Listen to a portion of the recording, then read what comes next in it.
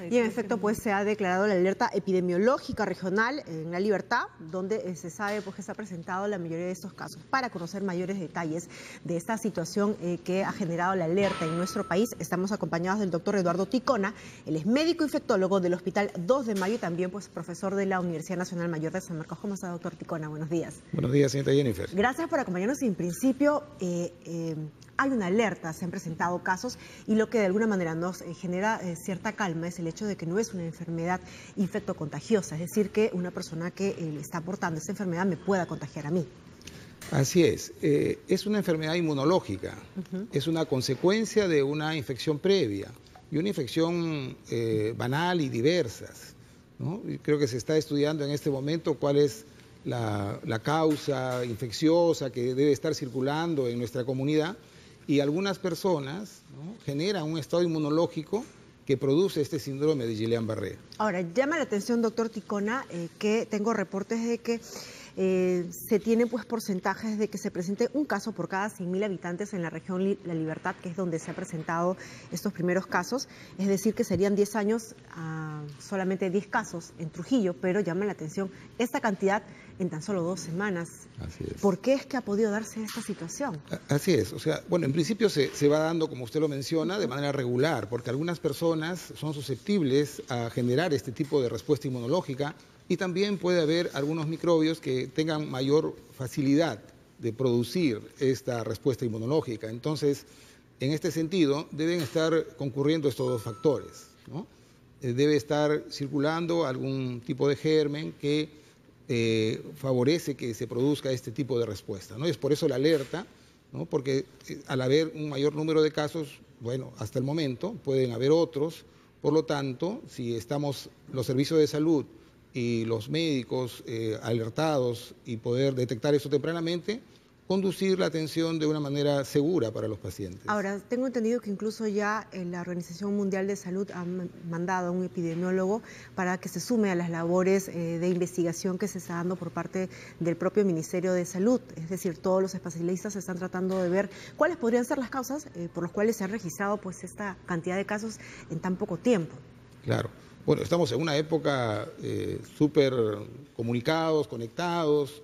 Lo que sucede en un país inmediatamente es reportado a la Organización Mundial de la Salud y nos ayudamos en un sistema de vigilancia internacional que permite que si ocurre algo en un país, eh, poder tener el apoyo internacional para poder caminar un poco más rápido y poder estar alertas y tomar medidas oportunas a nivel local y, bueno, lógicamente también a nivel internacional. muy bien, y hablando pues de medidas oportunas, eh, primero tenemos que conocer cuáles son esas señales de alerta. Vamos a ver si es que tenemos una primera información para que usted me pueda también comentar, doctor, en relación, pues ahí está el síndrome Guillain-Barré.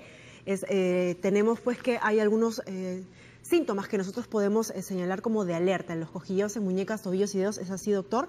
¿No? Calambres con dolor intenso, ¿no? Y que empieza pues en las, en las en los miembros incluso inferiores. Sí, eh, generalmente, empieza de manera distal, ¿no? Eh, nosotros llamamos en la parte eh, más distante de las piernas preferentemente, o puede ser de los brazos. Miembros inferiores por lo general.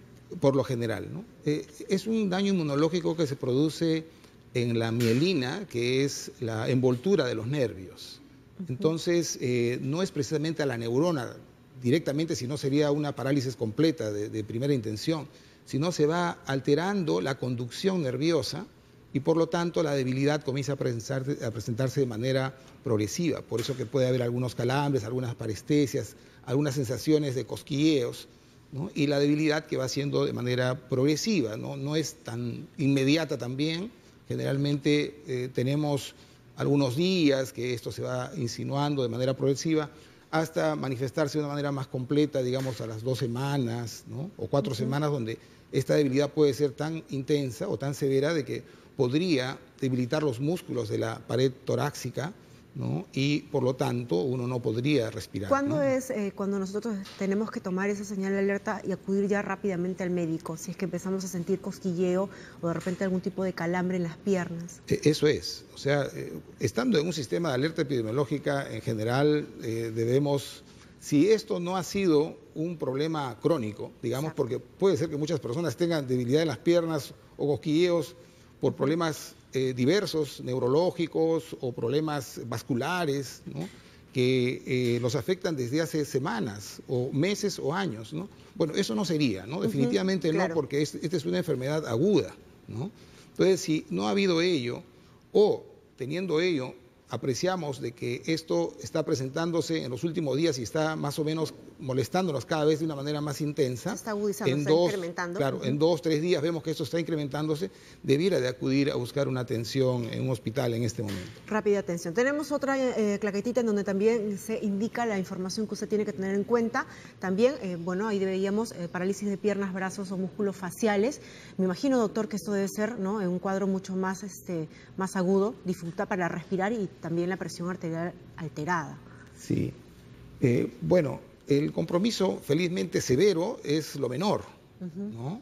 Y para tener problemas de parálisis de, los músculos faciales eh, es bastante infrecuente, ¿no? Eh, e inclusive esta progresión a llevar a una insuficiencia respiratoria también no es tan súbita.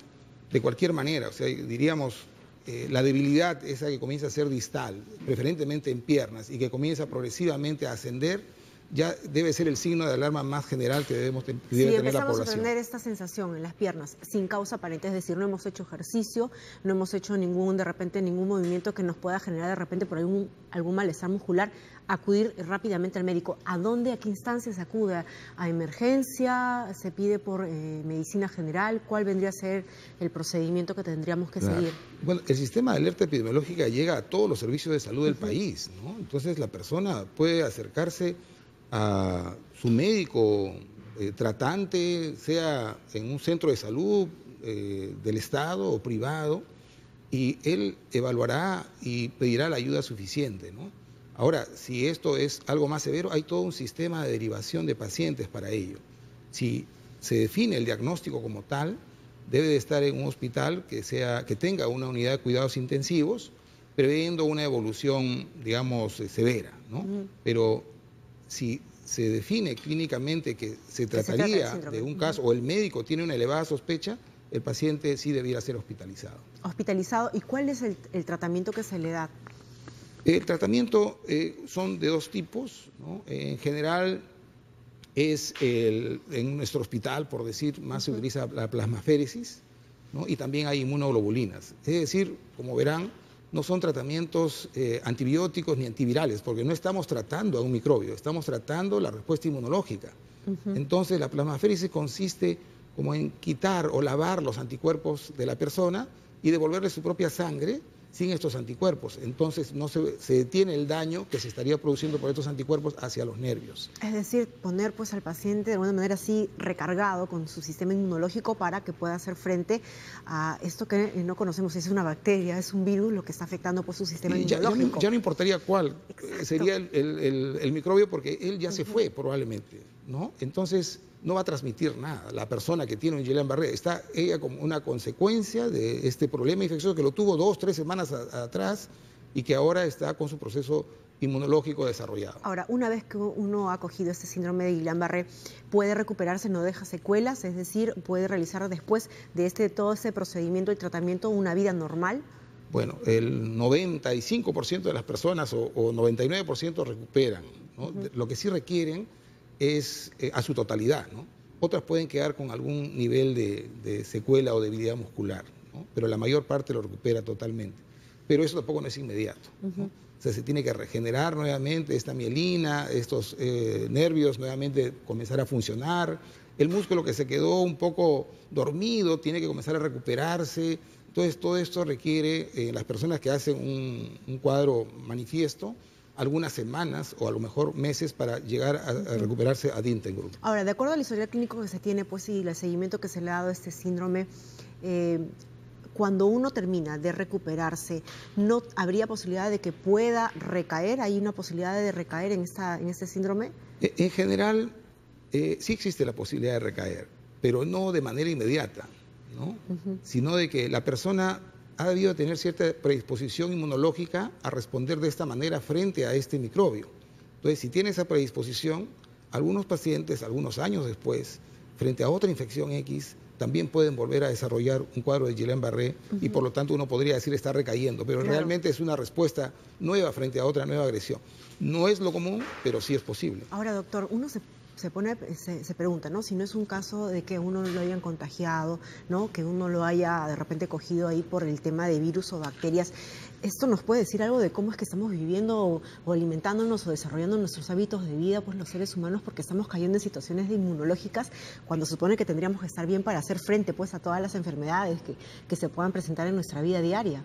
Bueno, nosotros estamos constantemente exponiéndonos a microorganismos eh, es sumamente difícil evitarlos, mucho más si estamos en una vida de ciudad muy aglutinados, en diferentes lugares compartimos con otros seres humanos y que pueden ser enfermedades eh, sencillas, ¿no? Eh, que pueden semejar un cuadro de resfrío o uno puede tener una diarrea pasajera. Bueno, es, en realidad e, es un poquito difícil. En general debemos tener siempre las precauciones eh, de higiene, de limpieza, de cuidado personal y también cuidar cuando tenemos algún proceso viral respiratorio, cuidar también de no pasar al resto, ¿no? Lavándonos las manos, protegiéndonos al estornudar. ¿no? Antes justamente, eh, doctor Ticona, de ir a las recomendaciones eh, para poder incluso poder evitar ¿no? las situaciones de, no sé si decir contagio, porque verdad no se contagia, de situaciones que se presenten en nosotros.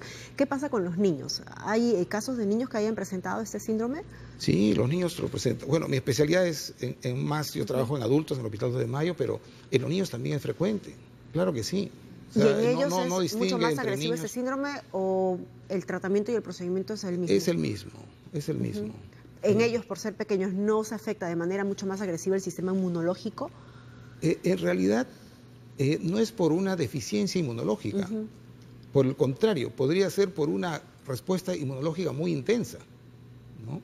Y eso es lo que está produciendo esos anticuerpos nuestros que responden contra el microbio, ahora están fastidiándonos a nosotros mismos. Entonces, hay enfermedades que son por defensas bajas, estas precisamente no sería por ello.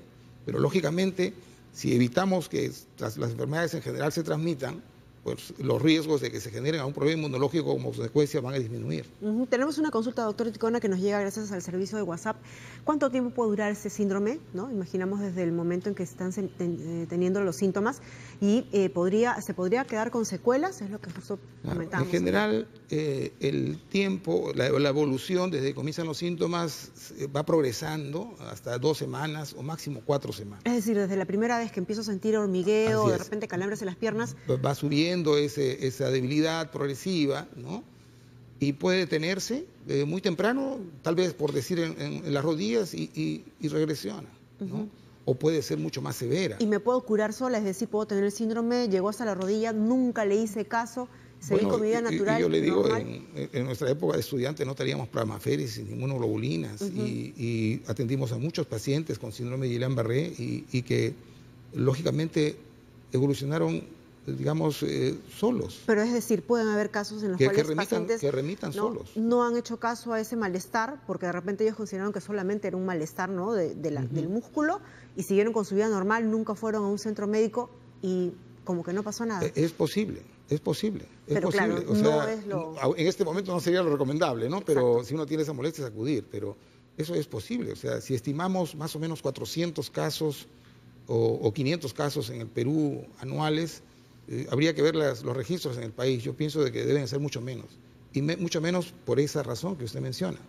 Ahora, en ninguno de los casos, imagino que eh, la solución va a ser automedicarse, porque esto es algo muy común, lamentablemente, en nuestro país, de que por ahí tenemos alguna dolencia y podemos automedicarnos. Que imagino que es lo, más contraproducente que puede pasar en estos casos. Bueno, sabiendo la evolución que puede llegar a una situación de dificultad respiratoria, ¿no? Definitivamente no se recomendaría ningún tipo de automedicación. Tenemos otra consulta y esta dice, ¿tiene un tiempo de manifestación para descartar este síndrome? Es decir, eh, ¿cuál debería ser ¿no? el tiempo que, estimado para acudir pues, a un centro de salud una vez que empezamos a sentir el malestar? No, la situación es uno comienza a sentir un malestar de lo que estamos conversando y debe de acercarse. Aún así puede generarle dificultades al médico para diferenciarlo, porque podría ser otra enfermedad neurológica. Para eso el médico pues, lo hospitalizará y realizará los exámenes correspondientes. Y ahí se definirá. Hay otra consulta interesante, dice una madre gestante que padezca esta enfermedad, ¿puede transmitirle al feto este síndrome?